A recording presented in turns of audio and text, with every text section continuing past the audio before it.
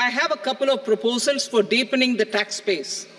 First, security transaction tax on futures and options of securities is proposed to be increased to 0.02% and 0.1% respectively. Hey दोस्तों L यानी long term capital gain tax S यानी short term capital gain tax और S यानी security transaction tax बढ़ जाने से क्या आप परेशान हैं या आप समझना चाहते हैं कि आपका स्टॉक मार्केट पोर्टफोलियो या म्यूचुअल फंड पोर्टफोलियो में इसका क्या असर पड़ेगा तो आप बिल्कुल सही प्लेटफॉर्म में आप इस वीडियो को अंत तक ज़रूर देखें।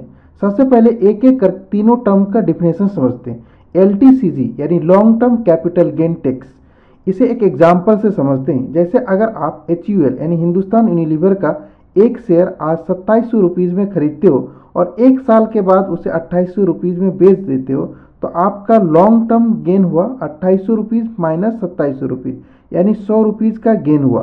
तो आपको एलटीसीजी के रूप में जो टैक्स सरकार को पे करना पड़ता था, दस परसेंट के हिसाब से पे करना पड़ता था। तो आपको सौ रुपीज़ का दस परसेंट, यानी दस रुपीज़ पे करना पड़ता था। लेकिन अब आपको सौ रुपीज़ का ट्वेल्व पॉइंट फाइव परसेंट के हिसाब से twelve point five rupees pay करना पड़ेगा। ठीक उसी तरह से एसटीसीजी यानी short term capital gain tax इसे भी एक एग्ज़ाम्पल से समझते हैं। जैसे आप हिंदुस्तान यूनिलीवर का ही एग्ज़ाम्पल लो, आप एक शेयर सत्ताईस सौ में आज खरीदते हो और आप अट्ठाईस सौ में एक साल के अंदर ही बेच देते हो तो आपको जो रिटर्न मिला, अट्ठाईस सौ रुपीज़ माइनस सत्ताईस सौ रुपीज़ यानी हंड्रेड रुपीज़ का तो आपको पहले टैक्स पे करना पड़ता था हंड्रेड रुपीज़ का फिफ्टीन परसेंट, यानी फिफ्टीन रुपीज़। लेकिन अब जो है टैक्स पे करना पड़ेगा हंड्रेड रुपीज़ का ट्वेंटी परसेंट तो ट्वेंटी रुपीज़ पे करना पड़ेगा।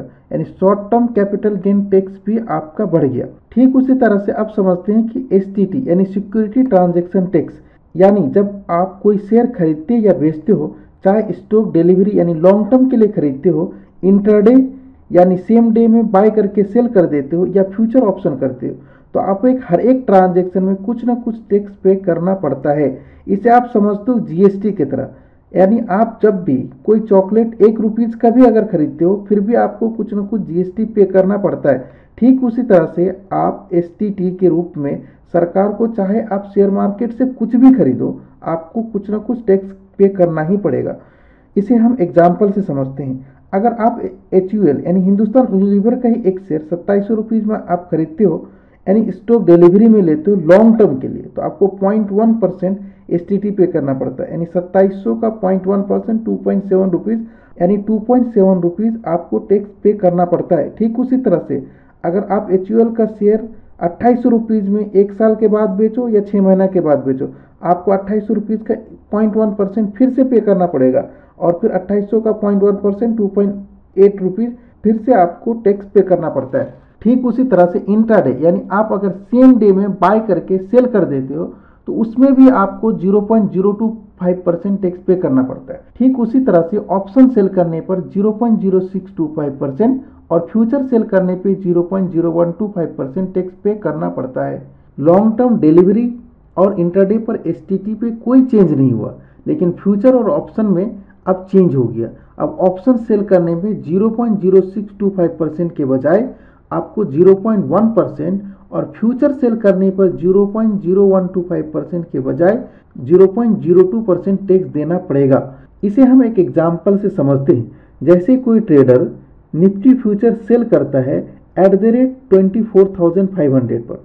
और निफ्टी का लॉट साइज़ है पच्चीस तो कॉन्ट्रैक्ट वैल्यू हो गया चौबीस हज़ार पाँच सौ इंटू पच्चीस, यानी छः लाख बारह हज़ार पाँच सौ। अब एस टी टी पे करना पड़ेगा छः लाख बारह हज़ार पाँच सौ into zero point zero two percent, यानी एक सौ तेईस रुपीज़ अब एस टी टी पे करना पड़ेगा। पहले लगता था छः लाख बारह हज़ार पाँच सौ का zero point zero one two five percent, यानी सेवेंटी सेवन रुपीज़ पे करना पड़ता था। ठीक उसी तरह से अगर कोई ट्रेडर पच्चीस हज़ार स्ट्राइक कॉल का option at the rate two hundred rupees sell करता है तो उसे प्रीमियम मिलेगा दो सौ इंटू पच्चीस, यानी पाँच हज़ार। अब पाँच हज़ार पर टैक्स देना पड़ेगा पाँच हज़ार इंटू पॉइंट वन परसेंट यानी फाइव रुपीज़ और पहले देना पड़ता था पाँच हज़ार का zero point zero six two five percent यानी थ्री पॉइंट वन रुपीज़। अब आपको L T C G S T C G और एस टी टी में कैसे टैक्स कैलकुलेट करते हैं, समझ आ गया होगा।